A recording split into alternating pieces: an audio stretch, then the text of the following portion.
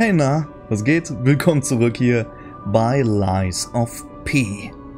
Yes, yes, ja. Freunde, wir sind in Krat, also in dem Hotel Krat angekommen. Ich bin immer noch nicht so äh, ganz sicher, ob jetzt auch die Stadt Krat heißt.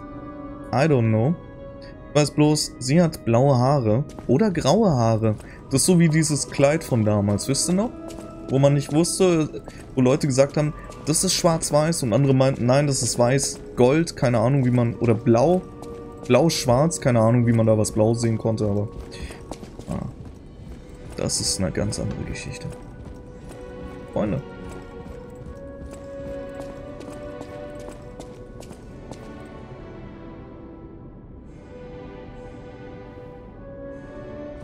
Hi. Unexpected guests are welcome. We don't insist on reservations. I am Antonia, and this is my hotel. Oh. Welcome.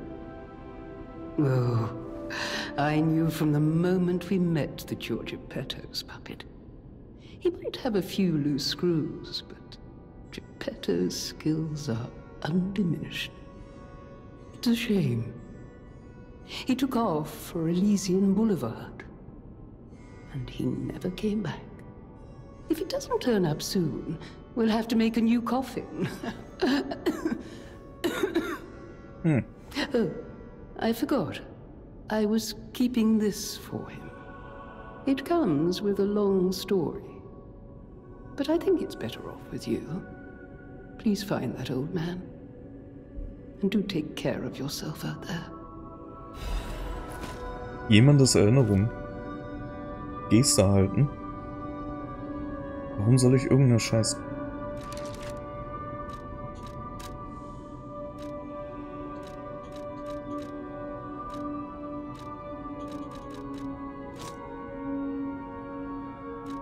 Das hatte ich doch eben schon mal gemacht.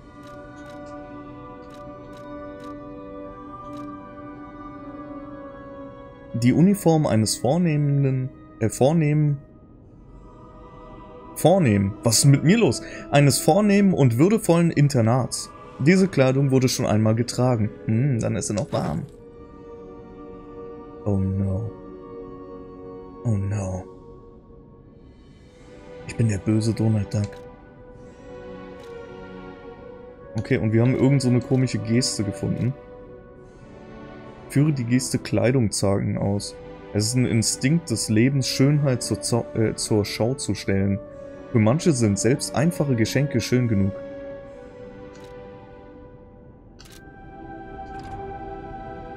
People have no idea so many secrets are buried in Krat. Mhm. Thanks for keeping me company. What are you curious about? Sag mir alle Geheimnisse. Etwas über das Lügen. I see you're here. That means you can lie. Your lies are a rare ability. You're able to choose your own path, unbound by anything. People on the outside are still afraid of puppets. Lie to protect yourself and find your path. Erzähl mir von Geppetto. I'm an old friend of Geppetto's. His son is like family to me. Make yourself at home. You're always welcome here at the hotel. If you have any questions, ask my butler, Polendina. Hollandina. Alright. Ja, haben wir einen geilen Anzug bekommen, Freunde. Benijnis Reiseführer der Sehenswürdigkeiten von Krat. Attraktion diesen Monat? Hotel Krat. Das Hotel Krat ist eines der unheimlichsten und geheimnisvollsten Gebäude der Stadt. Laut Überlieferung ist das Hotel Krat eine abgelegene Burg, die von einem Aristokraten erbaut wurde, der einer Form des Okkultismus zugegen, was? Zu, zugetan war und eine offen, es ist immer Okkultismus, oder? Und eine Offenbarung von einem leuchtenden Baum erhielt. Eine Zeit lang wurde es als Nervenheilanstalt genutzt, na klar. Und einige Patienten berichten, dass sie Halluzinationen hatten, natürlich. Die Aufzeichnungen sind jedoch nicht mehr vorhanden, da sie alle bei einem großen Feuer zerstört wurden. Natürlich, übrigens kam raus, das steht auf dem alten Indianerfriedhof. Vor allem die Tatsache, dass es so weit unter der Erde liegt, verstärkt die Gerüchte. Manche sagen sogar, dass es mit einer unbekannten Hölle verbunden ist. Das, erhöht, äh, das erhöhte vor allem die Attraktivität des Hotels Krat, das im neuesten Stil renoviert wurde. Während sich die jüngsten Gerüchte über das Geisterhotel der großen Ausstellung vor, äh, verbreitete, wollen immer mehr Kunden tatsächlich in diesem Hotel übernachten. Als nächstes folgt ein Kommentar der Hotelbesitzerin Miss Antonia. Ein Geisterhotel? Ich kann gar nicht sagen, wie oft ich das schon gehört habe. Aber zum Glück sind unsere Hotelgäste mutig wie Löwen. Also alles kein Problem.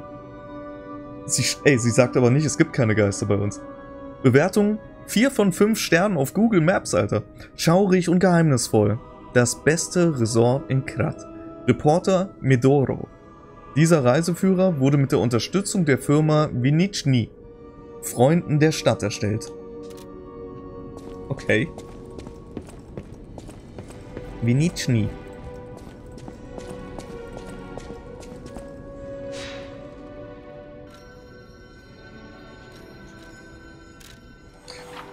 Okay, wir haben also gleich ein Teleportsystem von Anfang an. Ziemlich geil. Welcome to Hotel Krat. My name is Polendina, butler to Lady Antonia. Mm -hmm. Please let me know how I may be of service. At Hotel Krat, comfort and calm walk hand in hand. Welcome to Hotel Krat. How may I be of service? Gib mir all dein Geld. Der große Bund, was ist denn das? The Grand Covenant is a set of absolute commands imprinted on puppets when they are made. First law. All puppets must obey their creator's commands. Second law. A puppet may not harm humans. Third law. A puppet protects and serves humans and the city of Krat. Fourth law. A puppet cannot lie. I've told you about the laws engraved upon every puppet.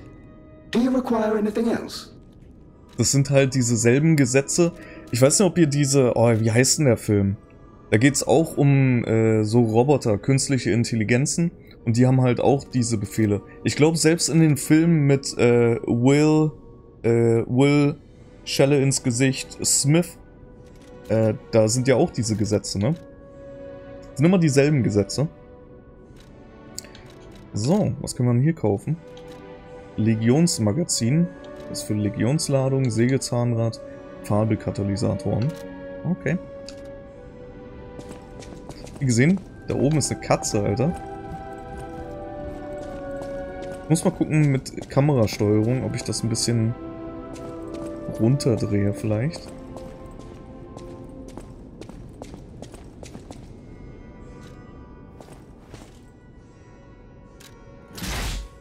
Legionswaffe wechseln.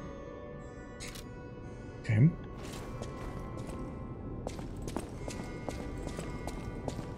Hi. Wer bist denn du? I heard about you from Geppetto, but to see you in person. Wow. You should take this. Geppetto left it with me.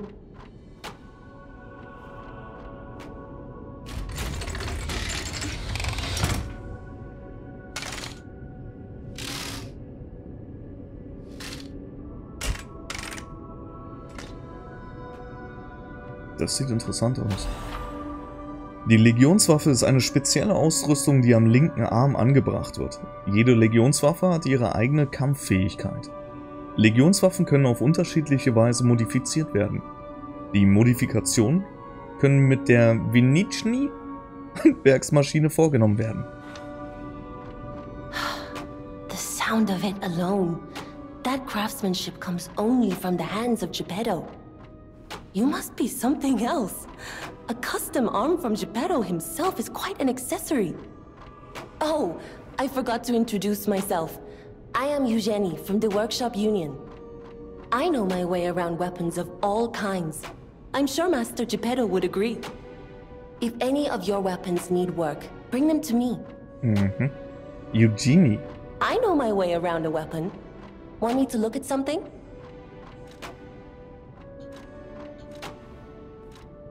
Uh, äh, was weißt du über den Stargazer? A stargazer is a survival device used by the stalkers. It powers itself by accumulating and absorbing ergo spores in the air. The stalkers installed stargazers all across the city. Once they're recovered, we can put them to use. Training? If you want to test your skills or try new techniques, head for the garden.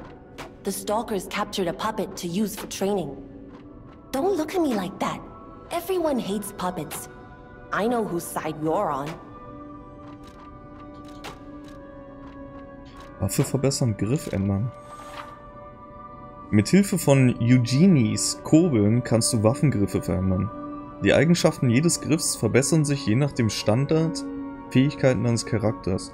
Du kannst diese Eigenschaften und den Grad einmal mit einer Griffänderung verändern. Du kannst dies jederzeit mit einer ausgeglichenen Kurbel zurücksetzen.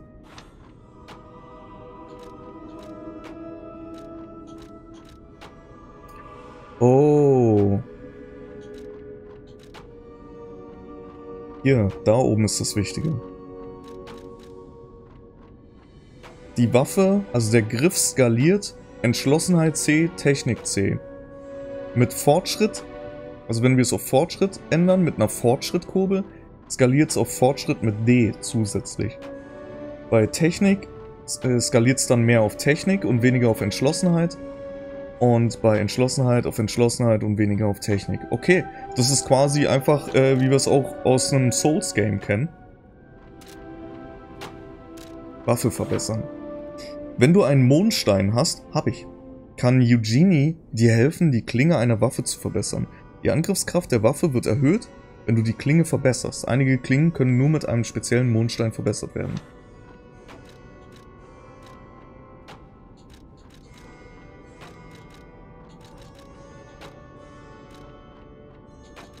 Ah, Ich überlege, ob wir das direkt machen wollen.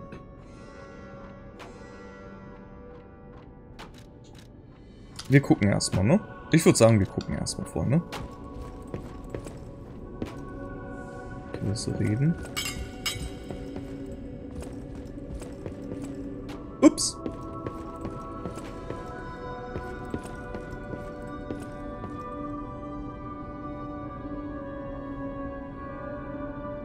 Habe diesen Ort regelrecht organisiert. Was geht denn hier?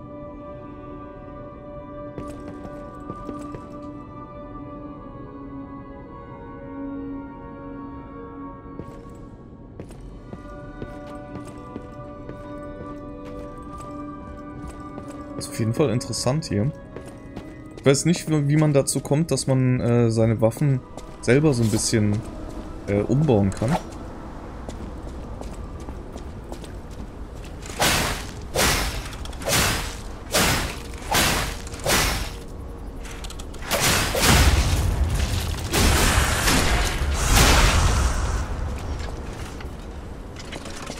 Alright, cool.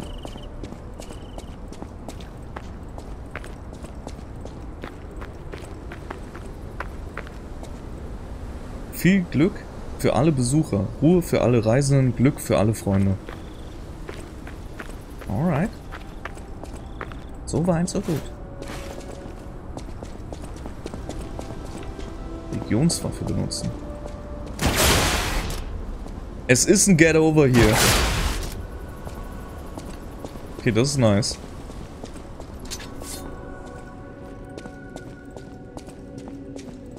Das heißt, hier können wir dann...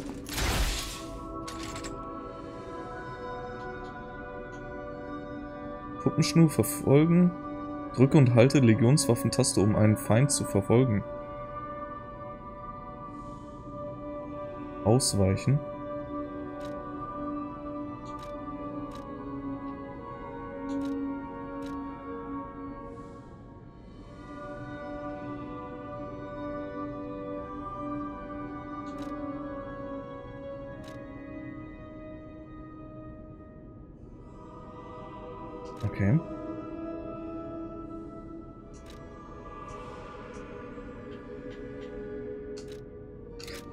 Ja, dann müssen wir noch so ein bisschen reinkommen. So richtig äh, blicke ich das noch nicht.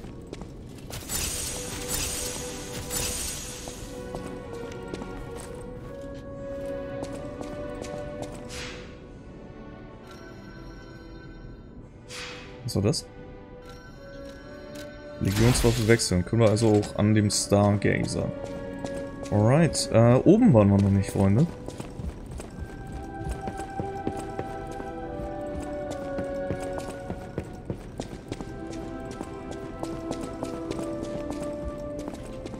Natürlich die Frage, ob hier überhaupt noch irgendwas ist.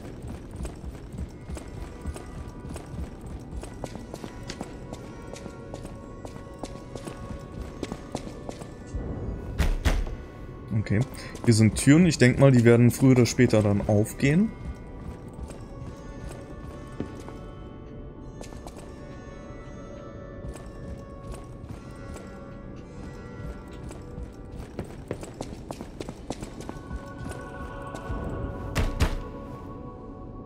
Rosa Isabellstraße, von der haben wir doch schon gelesen gehabt.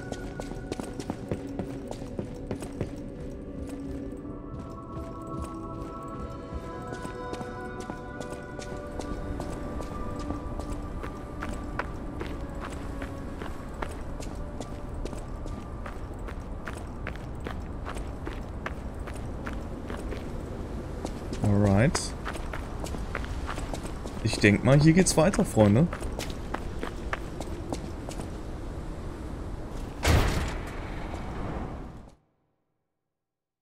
Interesting. Auf jeden Fall cooles Hub. Ich bin gespannt, Alter, äh, was für Viecher und was für Typen und äh, was für Puppen. Ich meine, Puppen dürften da ja eigentlich nicht rein ins Hotel, ne?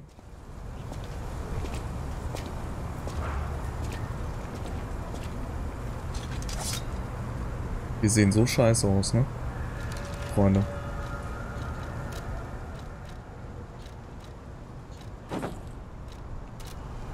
Ist ja sonst nicht mein Stil, aber als, als so Matrose, da, da bekomme ich einfach Flashbacks. Also,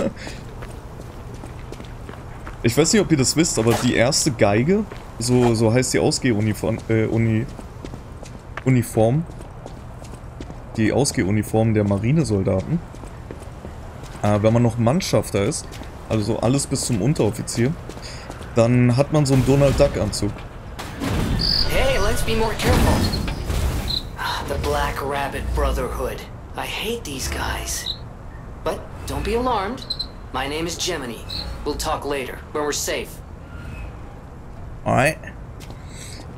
Und die erste Geige, die gibt es in zwei Varianten. Einmal dieses, was man von Donald Duck kennt halt. Diese hell, also die weiße Variante, die ist für den Sommer. Und im Winter hat man eine etwas dickere, die ist halt so ganz, ganz dunkles Blau. Ne, das ist das, was, was man hier anhaben kann. Was wir bekommen haben. Und als Marinesoldat bist du der einzige Soldat, der außerhalb von Truppenübungen und so, wenn du irgendwo in deiner Uniform hingehen möchtest, musst du in der ersten Geige gehen. Als Mannschafter hast du wie gesagt dieses Donald Duck äh, Gedächtnis Gedenkuniform, ja, auch mit diesen Flatterbändern hinten an deiner Mütze, die hat nicht mal einen Schirm. Später äh, alles ab Unteroffizier ähm, also Offizierslaufbahn und so, hast du halt so einen richtig geilen Anzug. Richtig geiler Anzug, schwarz-weißer Anzug mit einer geilen Mütze, Alter. Das sieht geil aus, aber wie gesagt, als Mannschafter ganz, ganz schwierig. Vor allen Dingen, wenn du in Berlin wohnst. Und, und das muss ich noch erzählen, bevor ich aufhöre. Ich musste also nach der Grundausbildung, die ich in Bremerhaven gemacht habe, ähm, musste ich auf meine neue Station in Seet also an der dänischen Grenze. Und dahin musst du in der Ausgehuniform als Marinesoldat. Das heißt, ich musste in so einem Donald Duck Kostüm in Berlin am Zoologischen Garten. Bro, ich bin froh, dass ich noch lebe.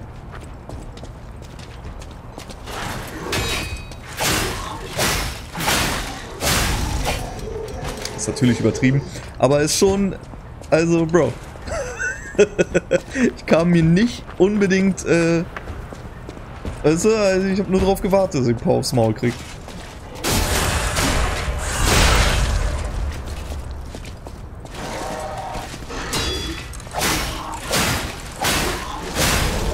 Okay, vier Schläge ungefähr brauchen wir, um einen so einen Schlag von denen, die wir, den wir geblockt haben, unsere Leben wieder zurückzubekommen. Das ist gut zu wissen.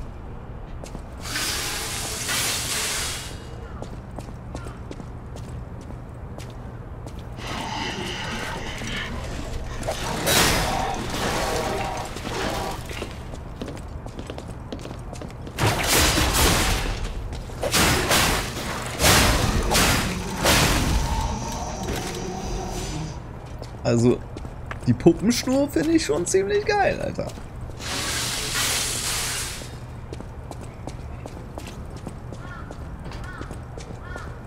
Elysian Boulevard was a regular rich people row.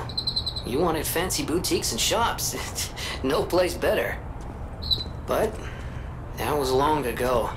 Before the puppet frenzy.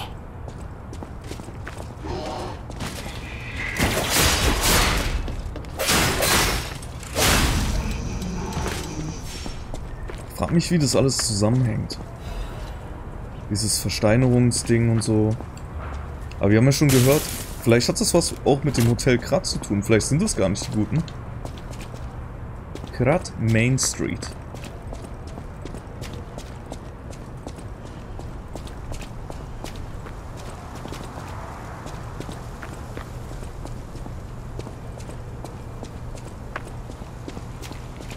Okay, bei dem Hund haben wir ja schon rausbekommen.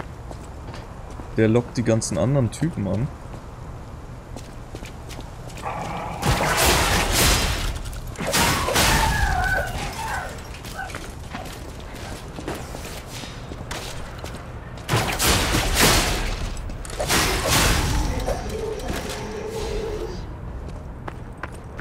Ey, die Puppenschnur ist geil, Alter. Kannst sagen, was du willst. Aber ich glaube, so einfach, wie das jetzt hier alles so rüberkommt, ich glaube, so einfach wird es nicht bleiben. Unsere erste Kiste.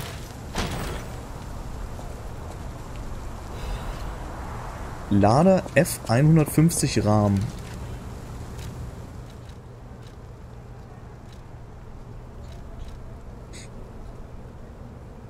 Okay, also das liest sich so. Gewicht ist 10,0. Das ist 2,4 mehr als das, was wir ausgerüstet haben. Physische Schadensreduzierungsrate ist 15,85. Das ist 4,24 mehr als wir jetzt haben. Alright. Damit sind wir schon auf 53% Gewicht. Ja, wir müssen langsam aufpassen.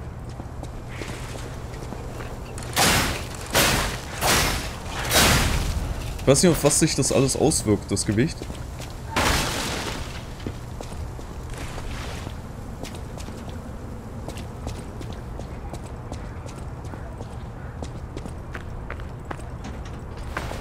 Denke mal, wir wollen es eigentlich nicht rausfinden, Freunde.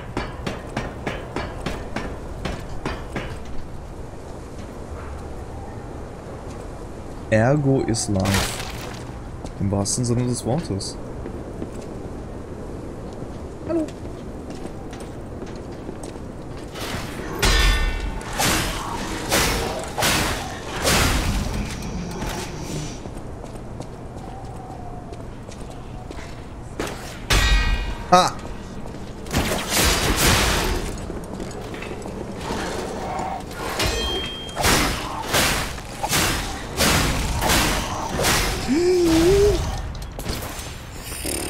Alles geplant.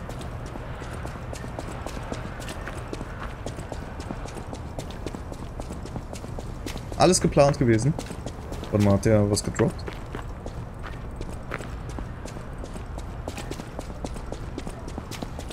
Eine Sache, die ich mir wünschen würde bei den Games, aber das ist natürlich... Ja. Ich habe gerade überlegt. Ich wollte sagen, was ich mir wünschen würde, wäre, dass es wie bei Remnant ist, wo du, wenn keine Gegner in der Nähe sind, einfach unendlich Ausdauer hast. Dann habe ich mir gedacht, das ist aber doof, weil dann weiß ich, wenn ich renne und auf einmal Ausdauer verliere, dass Gegner in der Nähe ist. Aber man könnte das doch vielleicht so machen, dass man, äh, wenn man in Combat ist, also wenn Gegner aktiv dich schon... Ja, das ist auch doof.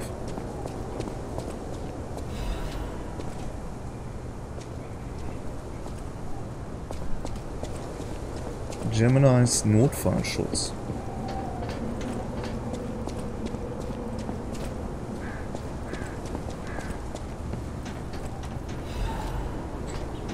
Sägezahnrad.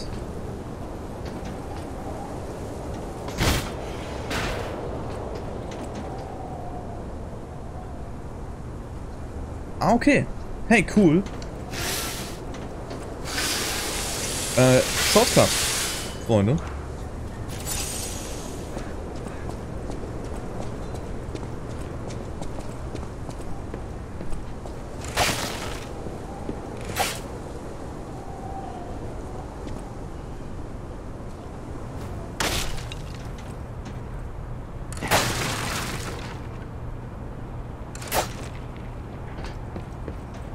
Hm.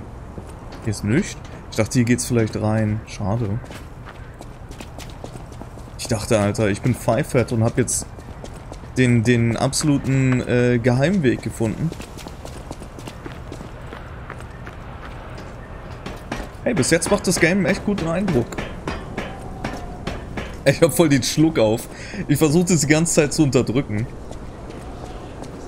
Ich habe ja so ein bisschen mit Magen, ne? Wisst, wisst ihr ja vielleicht. Das ist manchmal, manchmal ist es schwierig für mich.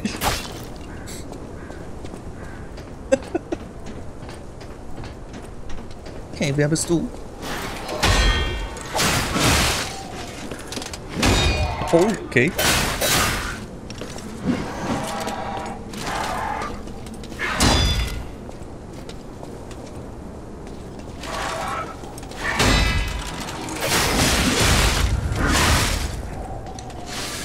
Uh, äh, nein.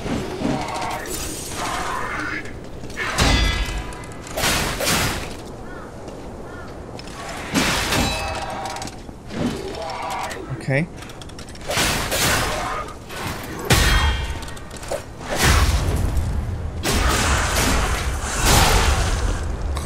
Come on.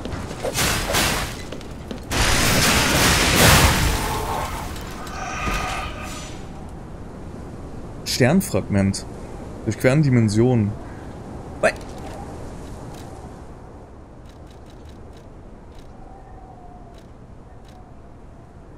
Ein Meteoritenfragment, das in verschiedenen Teilen von Krat gefunden werden kann. Es kann am Rissruf vor einem Bossbereich verwendet werden, um ein Gespenst zu beschwören. Ah. Okay.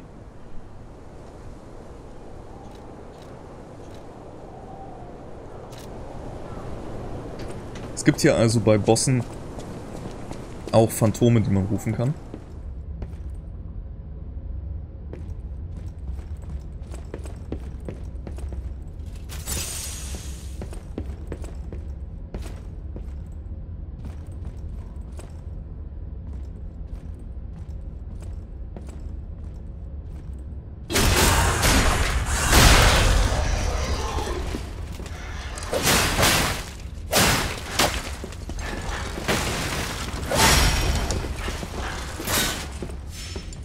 Da war der Sound von... Dass wir wieder eine Ampulle aufgefüllt haben. Wir haben ja unsere letzte schon äh, benutzt gehabt. Deswegen, es macht halt Sinn, wenn man noch eine hat in einem Bossfight, ja, dass man die auch dann wirklich nutzt, weil man ja eh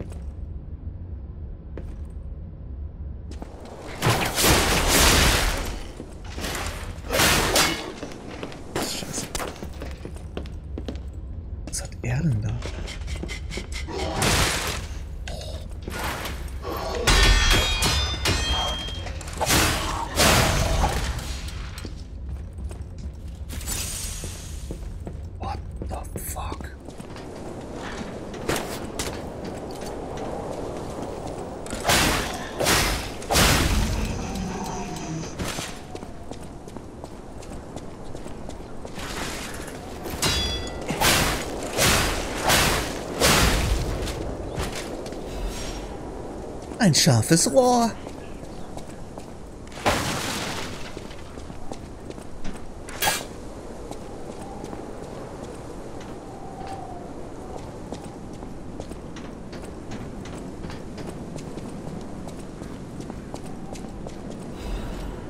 Elektroblitzschleifmittel. Mal da unten ist was. Müssen wir da runter? Hier oben geht's auch lang.